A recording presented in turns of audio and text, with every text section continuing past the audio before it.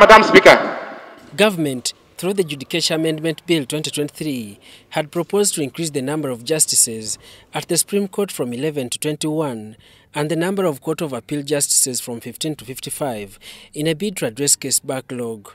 The Parliament's Committee on Legal and Parliamentary Affairs scrutinized the bill and to a bigger extent weakened the demands of the government. The committee maintains the fact that the case backlog in courts of law mostly result from unproductivity of justices and poor management of cases. I just wanted to inform the minister, we did pass the Judicature Amendment Act in 208, increased the number of justices of the Supreme Court to 11.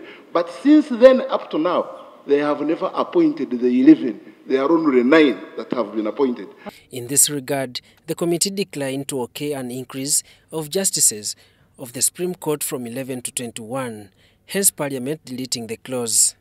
Increasing the justices of the Supreme Court will result in a bloated bench, deter easy and efficient decision making, and will increase the burden of the taxpayer.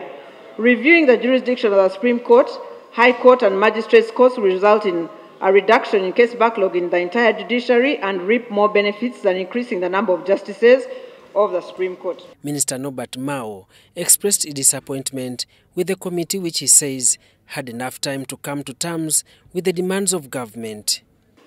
So the committee should have come to this house and also reported our undertakings and also the efforts that we reported to the committee, namely that we have enhanced the numbers at DPP.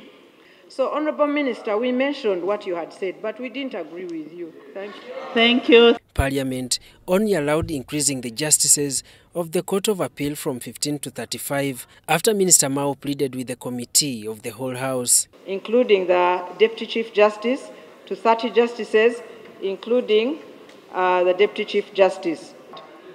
And the practical matter I'm dealing with is the health of many of the Court of Appeal judges and the backlog which ties them down to carry out more research and to write judgments, which means the panels cannot be constituted at the same time. The Parliament's Committee on Legal and Parliamentary Affairs, among other justification, reveals that the intended increment of the judges puts a great negative impact on the taxpayer.